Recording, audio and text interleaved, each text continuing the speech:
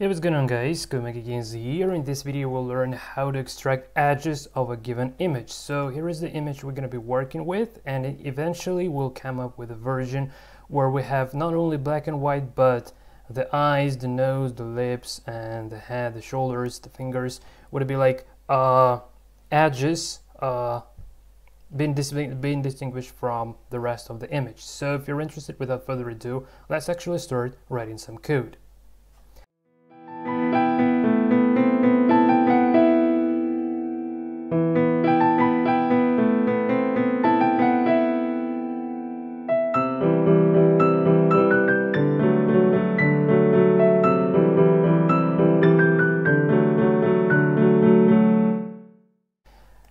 Okay, so the very first thing we need to do is to import packages. So we all we need here is to say import cv2. Then we want to load uh, image file and we can say image equals to cv2 dot image read then the file name is image dot jpeg and cv2 image read unchanged flag here. Okay now we want to display image uh, in a window. So just for debugging purposes. So we can say cv2 dot image show uh, let's call the window just image and let's start by displaying the image on it. So now we want to break out of a program and say cv2 wait key and zero to wait for whatever key being pressed. And finally we want to clean up the windows. So we can say cv2 dot destroy all windows.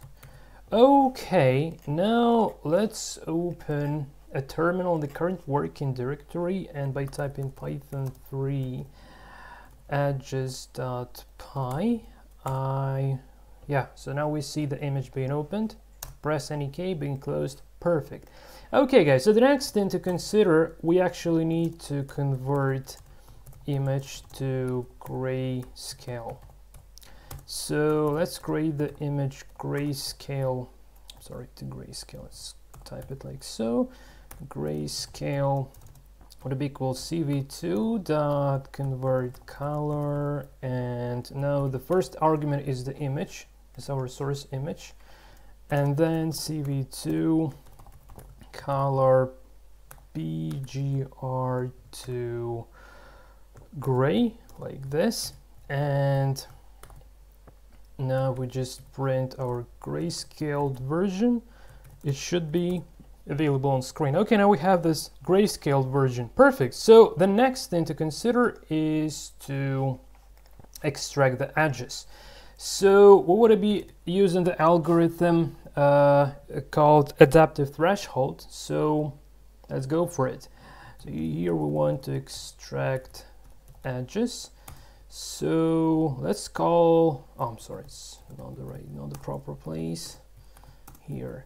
Okay so image edges would be equal to i'm sorry image edges equal to cv2 dot adaptive threshold. And it takes a bunch of parameters. So first the image itself. So at first we'll use the image grayscale, then we'll change it, but just this this would be like this turns out why why this is needed turns out a bit later. Then the background uh, the background color I want to use white. So if you reduce this number, it would be like more gray and up to black. So whatever value. So but so so I want I just want to use white here. Uh, then we need to define a couple of constants. So CV CV2 adaptive adaptive thresh mean constant and cv2 thresh binary. Okay and now the block size one of the essential things to consider. So how how thick the lines uh, would it be uh, like whether just a small counter or uh, like a thick uh, uh, one uh, involving many pixels. So let's kickstart with I don't know let's say 5 okay and the constant. And this one this constant stands for like how many details are about to be displayed. So let's start by displaying uh, more details first then we would be playing around with these values. Okay so now we can already try to display our edges. So let's go for it. Okay so not that bad but not perfect yet. So let's now start working on this. So I would probably like to go for this like this. Okay yeah now it's better but you see like the image is noisy so the next thing to consider is to reduce this noise that we have. And in order to do this we need to uh, apply a noise reduction filter uh, to the grayscale version of our image. In, uh, in, in this case I'll be using the median blur filter. So here we want to reduce uh, reduce image noise and image blur would be equal to cv2 dot median median blur and here I'm taking the image grayscale as the first argument and then the constant. So let's start with let's say 5 uh, we can also have a look at the difference uh, like how this blur effect looks like. So this is the original grayscale, okay, and this is the blur version. So let's quickly check this out. So you see like it's more blurred, okay, and if we just go increase this value, say to 11, you see that it starts being really like uh, vague, I would say. Okay, so I think 7 would be enough here so yeah something like this and now we can use this image blur instead of the image grayscale uh, to actually get uh, to actually uh, source uh, to, to serve as a source for the edge extraction. So yeah and I just want to finally bring the image edges. Okay so it's like the noise has been reduced here. Okay and now we just try to play around with this constant slightly a bit more than apparently. Um, sorry, nope. Oh, what have I done? What have I done? Uh, sorry guys. Okay, so let's try it three. Okay. Well, more or less, just fine. Well, maybe, maybe I, I can still make it two, but yeah I think well if we just try to go to 9 let's say. Okay I think now this is this is much better. So you just you just compare uh, the non-blurred version with with the blurred version so the eventual comparison. So initially we had this. It's not good right? But after uh, applying this noise reduction effect, we have image like this, which looks much better. Okay, so the very last thing we can try to play around with, we can overlay uh, the edge onto the grayscale version because uh, it's kind of possible. So let's let's try to do that as well. So we can use cv2 dot bitwise and one of my favorite functions here, and we just can say image grayscale and the edges and here we go. So now we have this nice uh, picture like a cartoon style uh, of our image. So the very last thing we need to do is actually to store the output images and we are done.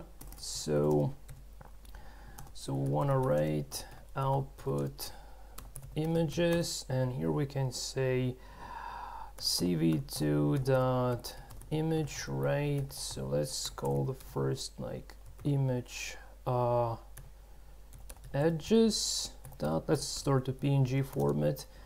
And here we will use the bare edges.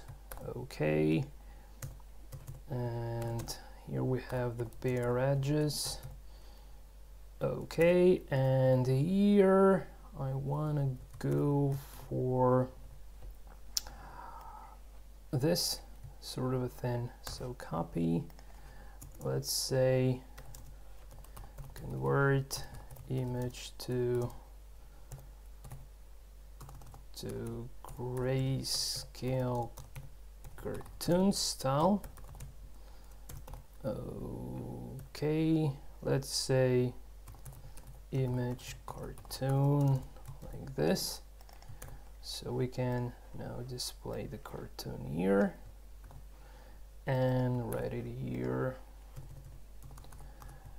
And here we say cartoon style.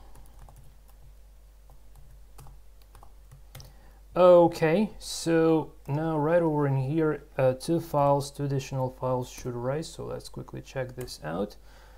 Okay. Uh, okay so what's going wrong we have this cartoon version okay but we don't yet have the edge version. Oh that's just overriding this okay i'm sorry image cartoon. Just you know been just overriding the image it's not that great. Okay now we have the version with the bare edges which is nice and we also have this black and white grayscale cartoon style. Well okay guys so this is it from my side. I hope you've enjoyed uh, i hope you've enjoyed enjoyed this tutorial and find something useful and interesting in it. So this is it from my side. See you next time. Until then and take care